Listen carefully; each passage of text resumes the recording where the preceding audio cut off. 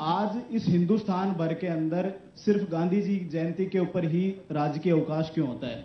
बाकी युद्ध जो लड़ चुके लोग जो इस आज़ादी के लिए इतने वर्षों तक लड़े उनका नाम कहाँ है? पीछे एक साथ सवाल दे दीजिए फिर एक साथ जवाब ले लेंगे। आजकल गांधीवाद का मतलब ये हो गया कि खादी पहनो गांधी जी की फ़ोटो लगाओ और नेतागिरी करो। हम्म। इसके लिए इस सोच के लिए जिम्मेदार कौन है आखिर? मेरा क्वेश्चन सुदीप सर से है। हम्म। सर अ, हम यंग जनरेशन के लोग हैं और आप जैसे यंग ऑथर्स आजकल एब्सर्ड राइटिंग में ज़्यादा इन्वॉल्व हो रहे हैं। जैसे रोमांटिक लव स्टोरीज पर ही ज़्यादातर लोग लिख रहे हैं। कोई रिवॉल्यूशनरी राइटिंग में कोई बिलीव नहीं कर रहा। तो क्या हम फ्यूचर में हमारी जनरेशन के यंग राइटर्स से थोड़ा ब्रॉड माइंडेड होने एक्सपेक्ट कर सकते हैं क्या? You should expect that but then for the fact is कि आज जो see it's a latest trend पहले इंडियन ऑथर्स को उतना पढ़ा नहीं जाता था India right now that it has started so it will take time first thing is आज अगर एक इंडियन ऑथर रिवॉल्यूशनरी पे लिखा जा, लिखे लिखेगा तो उसको तुम पढ़ोगे you will see that this is a crap is he that वो इतने इसमें है क्या कि वो पॉलिटिकल बातें हमें समझाए। जैसे आज चेतन भगत पे इतने सारे एलिगेशन हुए। कि who is he to teach us that how should we behave और what should we do but then the thing is कि we youth should also come together and even we should be that broad minded that we need to do something to eradicate this corruption from India and we don't know what is the start of it अच्छा इसमें यह है कि आज youth है, आप love पर लिखिए रोमांस पर लिखिए लेकिन लव में जो प्रॉब्लम्स आते हैं उसको भी लिखिए। लव क्या आता है। हाँ, लव गुरु लव गुरु बनने की कोशिश करिए। एक सवाल जो सज्जन का था कि क्या ऐसा क्या है कि अहिंसा और कायरता और उसके साथ साथ कहीं ना कहीं एक सवाल और निकल के आया कि केवल गांधी के लिए ही क्यों नेशनल हॉलीडे रखा जाता है? बाकी सारे इतने फ्रीडम फाइटर्स के लिए क्यों नहीं रखा जाता? जब हिंदुस्तान का फ्रीडम मूवमेंट चल रहा तो हज़ारों नहीं लाखों लोगों ने इसमें कुछ ना कुछ त्याग किया है कुछ ना कुछ बलिदान दिया है। लोग कितने जलियांवाला बाग से लेकर कहीं तक लोग गए हैं स्वतंत्र के लिए। क्या आप चाहते हैं कि हर हर एक के लिए एक जो एक जन्मदिन जो मनाया जाए? इज़ इट पॉसिबल अच्छा इनका ये सवाल है कि why not Bhagat Singh why for Gandhi why for Gandhi because he. Was the leader Bhagat Singh का होता है। Because he was the leader Bhagat Singh का भी होता है। दूसरे नहीं अगर भगत सिंह का ज़्यादा गांधी गांधी का ज़्यादा होगा। He. Was the leader leader के नाम का ही होता है। इधर से इधर से सवाल। हाँ बोलिए। सर इसका मतलब ये है जो आज हमारा लीडर है मुझसे उसके प्रिंसिपल्स पे चलने लग जाए। आज मनमोहन सिंह जी हमारे प्राइम मिनिस्टर हैं। अगर उनकी नीतियाँ गलत है तो हम अनिल दत्ता मिश्रा आपके इस सवाल का जवाब दे रहे हैं। Manmohan Singh is not a leader he is a prime minister of India leader कौन होता है? Who can lead himself who can lead the society who can lead the nation जहाँ से एक दिया जो है ना जलता है रोशनी की तरह। गांधी उसमें था। और इसका उत्तर मैं जो देखता हूँ देखिए एक दीपक मैं यहाँ पर जला दूँ। इस पूरे कमरे को रोशनी नहीं दे सकता। लेकिन उससे भी ज़्यादा यथार्थ है कि दुनिया के अंधकार में ये ताकत नहीं है कि एक जलती हुई लॉ को बुझा दे। प्रश्न ये है कि आपको चूज़ क्या करना है? इस पर आपको सोचना है और वहीं से गांधी जो है उधर से पीछे- दर्शन जो है वो प्रारंभ होगी पीछे से सवाल है जल्दी से दे दीजिए। सबसे मेन मोटो मतलब जहाँ तक मैंने सुना है गांधी जी के बारे में हम मान रहे हैं हम नहीं जानते उनके बारे में ज़्यादा बट उन्होंने सबसे ज़्यादा अच्छी बात ये कही थी कि सच बोलो। हाँ। तो आज कसाब ने मतलब कहा था अभी कि कसाब को सबने देखा था फुटेज में, गोलियाँ मारते और कम से कम 50 लोगों की हत्या भी हुई थी उस टाइम तब सत्य, आज हमारा इतना दबा दिया गया तो हम सत्य बोलने से डर रहे हैं तो हम क्यों बोले सत्य? जो आपने उदाहरण दिया, चलिए मान लिया।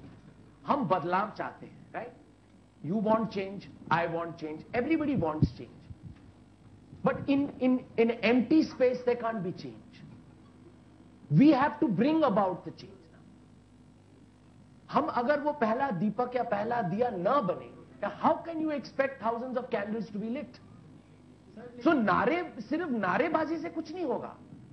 अगर आप बदलाव चाहते हैं तो आपको उस चेंज उस बदलाव का जीता जागता प्रतीक बनना पड़ेगा। सुनिए। झूठ का सहारा लिया अपने के जीवन में अपना। तो जो पहले कहा था हमने बड़े बड़े मंत्री करोड़पति अरबपति सब जेल में गए। कसाब वाले में ये बात नहीं है कि उसे सजा नहीं दी जा रही है। कोई सजा देने के लिए मना कर रहा है। This is not a point. यहाँ सत्य की ही जीत हुई है। उसे सजा दी जा रही है। बात सिर्फ़ इतनी हो सकती है कि फांसी दी जाए या ना दी जाए। हाँ। सेकंड गांधी जी के आंदोलन को अन्ना के आंदोलन से जो कंपेयर किया है sir I I am like follower of the Gandhi ji और मुझे लगता है कि गांधी जी जैसी नैतिकता और गांधी जी जैसी सत्यता अगर स्वयं में है स्वयं के साथ जुड़े हुए लोगों में है तो किसी भी हालत में वो आंदोलन फेल नहीं हो सकता। अगर कोई ये हट करे अगर ये हट करे कि नहीं मेरी ही बात मानी जाए जैसा मैं कहूँ वैसा ही चला जाए वो कभी भी सत्य का आंदोलन नहीं हो सकता वो हट का आंदोलन हो सकता है। चलिए। वो सत्याग्रह नहीं हो चलिए पीछे माइक दे दीजिए प्लीज़ गांधी वर्सेज यंगिस्तान बात की जा रही है हाँ। और यंगिस्तान के नीचे एक फ़ोटो है सरदार भगत सिंह की। बिल्कुल। 27 सितंबर को उनका जन्मदिन था शायद आधे लोगों को नहीं पता होगा। बिल्कुल। दूसरी बात यह है कि 1931 में सरदार भगत सिंह ये चाहते थे कि सबको समान अधिकार मिले सबके पास समान पावर होना चाहिए जैसा कि ह्यूमन राइट्स वाले करते हैं या फिर कई लोग ऐसी बातें करते हैं आजकल भी करते हैं।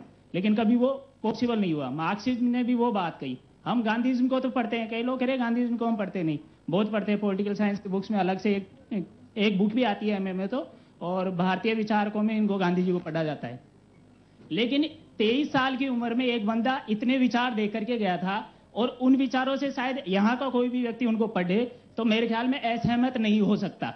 और शायद वो व्यवस्था यहाँ पे लागू की जाती। मैं आलोचना नहीं करता कि ग्राम स्वराज गलत है या फिर ये गलत है लेकिन एक बड़े सिनेरियो में बात की जाए तो शायद सरदार भगत सिंह ने जो इस व्यवस्था की बात की थी वो व्यवस्था अगर लागू की जाती तो ज़्यादा बेहतर होता।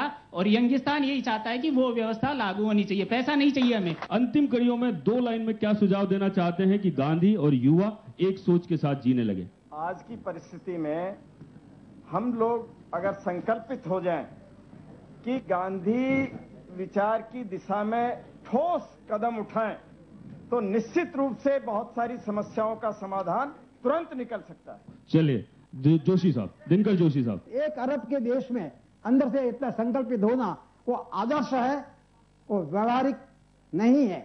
तो व्यवहारिक अगर रास्ता निकालना है तो कुछ और निकालना पड़ेगा। सिर्फ़ आदर्शों की बात करने से काम नहीं होगा। पाठक साहब। इस गांधी के दर्शन सिद्धांत और अपना दिमाग। ये दोनों कंबाइन कर लीजिएगा। तो जैसे एक टीचर ने कहा दो विद्यार्थी को कि मिट्टी के बर्तन में सरसों का तेल ले आना। तो तो वो सरसों का तेल दोनों लाया। एक का आधा था, था और एक का पूरा था। टीचर ने पूछा दूसरे से कि तो आधा पूरा क्यों है? तो कहा कि हमने रख दिया तेल इसमें आधा हो गया सूख गया तेल। पहले से पूछा आपसे बताओ। कहा कि गुरुजी आपने कहा था मिट्टी के बर्तन में सरसों का तेल। तो मिट्टी का बर्तन रख दिया पानी फूलने के लिए हमने। जब पानी सोख लिया तो तेल डाल दिया पूरा का पूरा हो गया।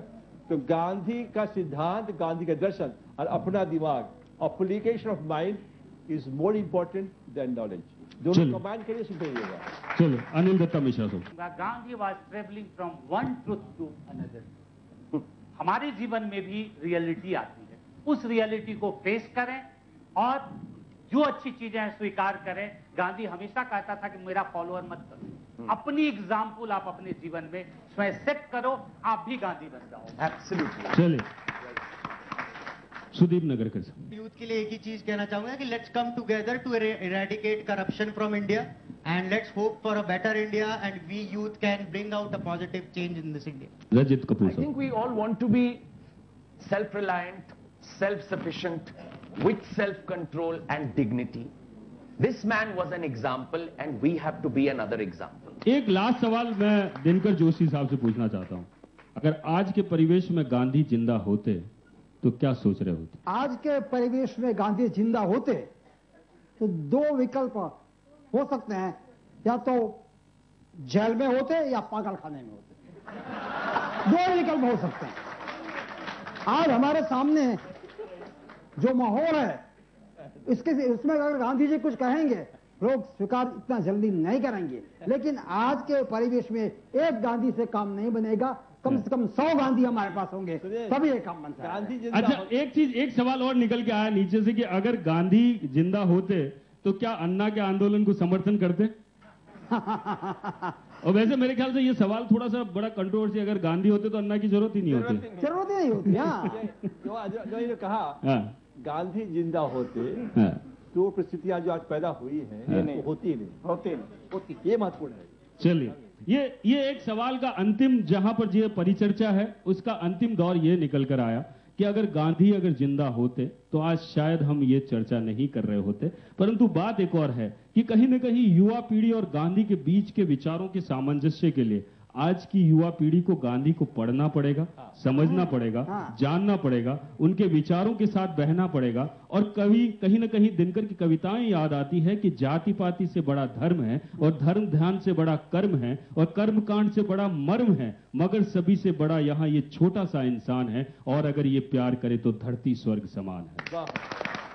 हमें उस लहजे के साथ जीना पड़ेगा और गांधी के लिए एक शब्द कहना चाहता हूँ पंक्तियाँ कहना चाहता हूँ कि ज़िंदा है वही जिसकी आस ज़िंदा है। गांधी अभी भी ज़िंदा है। हम लोगों के हर जहन में ज़िंदा है, हर जगह ज़िंदा है कि ज़िंदा है वही जिसकी आस ज़िंदा है और ज़िंदा है वही जिसकी प्यास ज़िंदा है। सांस लेने का नाम ज़िंदगी नहीं दोस्तों, ज़िंदा है वही जिसका विश्वास ज़िंदा है। और वही शायद गांधी है जिसका आज भी उस वक्त जब गोली खाई थी, जब हेराम शब्द निकले थे, तब भी उनके दिल और जहन में कहीं ये विश्वास था कि हिंदुस्तान मुझे मानेगा और इस विचारों के साथ कहीं ना कहीं वो बहेगा। युवा शक्ति भी बहेगी। आज नहीं, आज के बाद भी बहेगी।